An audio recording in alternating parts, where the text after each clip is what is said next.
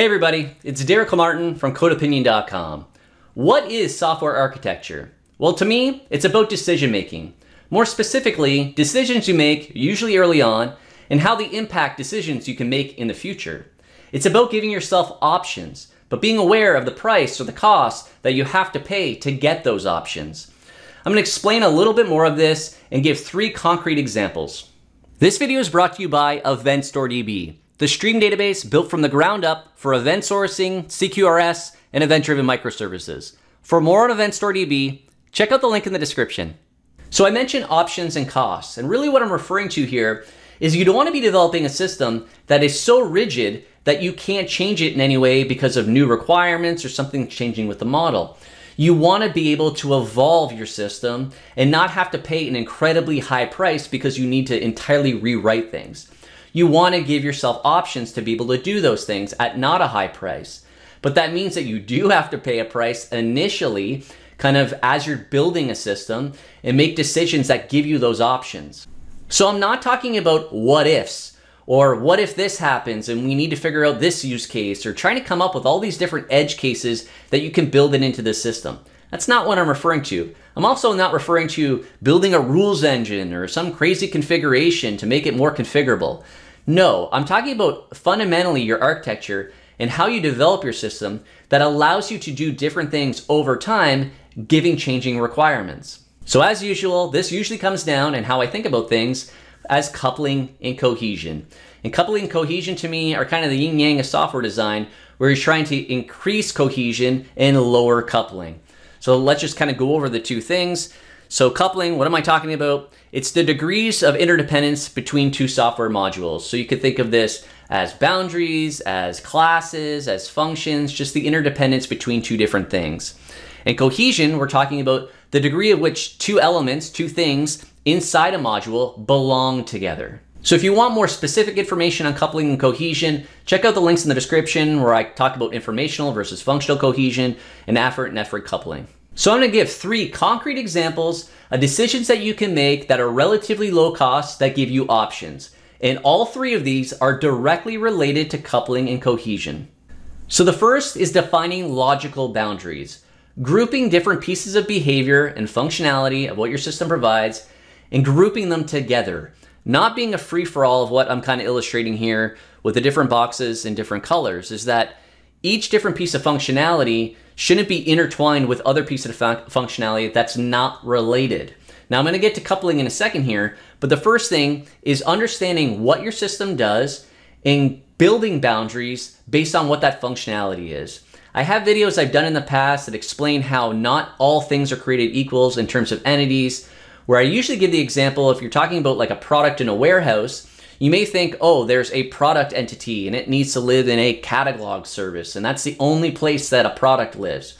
No, that's not really the case. That concept of a product can live within multiple different logical boundaries because there's different pieces of functionality that relate to each other. When we're talking about a product in a warehouse, the warehousing portion has the concept of a product, sales has the concept of a product, and those are completely two different logical boundaries. So grouping these pieces of functionality into their own boundary can be really difficult, especially if you have an existing system. But you can look at carving off pieces one at a time to define these logical boundaries. If you're starting Greenfield or a brand new project, defining boundaries can be really difficult, especially if you really don't understand the domain. But even though you may not get it completely correct, you're still better off defining some type of boundary for pieces of functionality. So the second concrete thing now comes to communication related to coupling. Obviously, if we were thinking about kind of all these different logical boundaries, you would assume that they need to communicate in some way. Just as we have, we were talking about a high degree of coupling. If you're building a monolith or say a turd pile or distributed turd pile, as I call them, um, you have a high degree of coupling because this boundary or this piece of functionality needs to interact with this boundary or another piece of functionality over here needs to get data, etc. So what you end up having, whether it's a monolith or a distributed monolith, where you have a lot of interdependence between various boundaries or features, etc.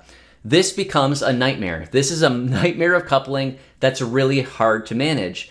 So we've defined kind of the cohesion side of breaking this apart in grouping things of pieces of functionality, but then how do we have those logical boundaries communicate with each other to deal with different things like business processes and workflows that are kind of feature related. So the second concrete thing you can do is to remove tight coupling that kind of crosses a logical boundary line.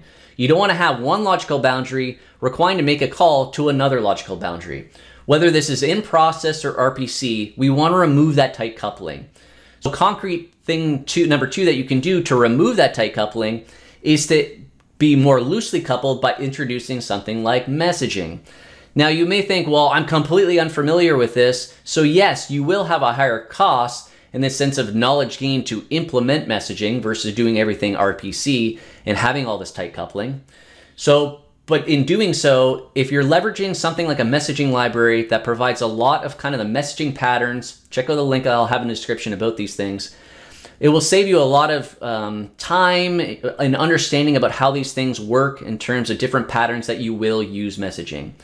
But this allows you to have different logical boundaries, not be directly coupled or reliant on other boundaries to make calls from one to the other. Rather, you're going to be using messaging, removing some temporal coupling, that you're going to be using, whether it be a message broker or some type of service bus that you're using, or just generally queues, but using messaging as a way to communicate and deal with workflow from boundary to boundary. So how does defining logical boundaries and loosely coupling between them give you options? Well, what you're doing is you're taking a what would be otherwise a very large system that ultimately will turn into a turd pile and you're splitting it up into smaller turd piles. With smaller turd piles, it's easier to manage. It's easier to change the internals or however that particular log logical boundary works. Maybe you want to change the underlying database for one of these logical boundaries. It's a little bit easier to do when it's kind of compartmentalized to a smaller part of the system rather than the entire thing. And with coupling, instead of having all this interconnected from this logical boundary to this logical boundary and having all this reliance so that if you change one thing here, it affects something else over here. You're removing that. You're removing that tight coupling, and rather you're just leveraging messaging to pass messages to queues or topics to a broker and exchange messages that way. If these are physically deployed independently, you get now the benefit of that one particular logical boundary that's deployed as a service doesn't necessarily need to be available or online for your entire system to work. You're just exchanging messages and each service or logical boundary is consuming them at the rate that they consume them. They are not dependent on each other being available. Event-driven architecture and messaging allow your system to be more extensible. It allows you to add functionality without affecting other parts of the system. So if you need to add some new type of functionality that you define as a logical boundary, you can create that separately and then have it be a consumer to different events that it's subscribing to that provides that additional functionality. So the last concrete thing you can do is apply CQRS, which I always say is a gateway to a lot of options. It allows you to do a lot of things at a really low cost. Now the problem is, is that it's still being confused with all kinds of other things. There's videos being made just recently that I'm hesitant to even comment on that complicate the matter. It's really not complicated. All it is is separating reads from writes, kind of at a application service layer. That's it. It doesn't mean that you have to be doing event sourcing or have different databases or you have to have a read model that's completely separate database schema. It's none of that. It really is just separating reads and writes. So whenever you want to perform some type of query, which is a read, that goes down one path. If you have some type of uh, command where you want to change state, that's a write, it goes down one path. It may lead to the exact same underlying database, it's not about data storage or the model and how you actually persist it. It's just the path how you get there initially, whether you want to perform a command or a query.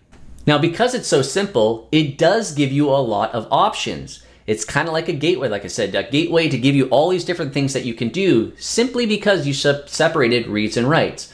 The problem is, is all those options end up being included in the explanation of CQRS because it does let you do so many things.